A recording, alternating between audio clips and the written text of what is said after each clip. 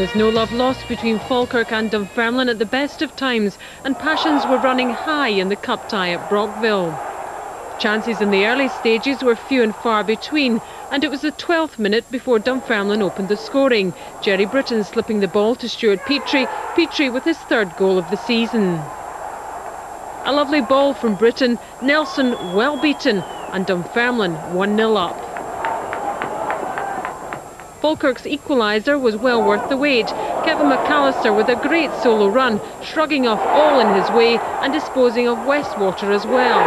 Quality finishing by the diminutive striker, much to the delight of the home support. Falkirk back in the game, the cup tie finally poised at 1-1. In the second half, Dunfermline took the initiative straight away, Nelson stopping Andy Tod's header. The Pars continued to turn the screw, and this time it was the post which stopped Andy Tod. Dunfermline could have edged ahead minutes later. The long ball from Colin Miller, great control from Andy Smith, and what a save by Nelson.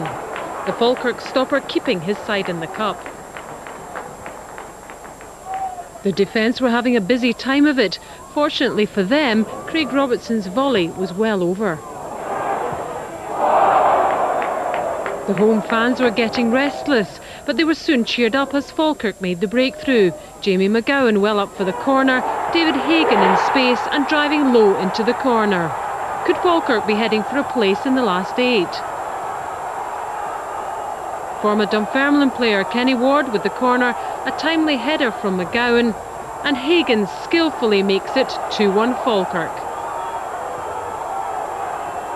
But could the First Division side hold out as Dunfermline desperately tried to get themselves back into the match? This effort, though, was going nowhere.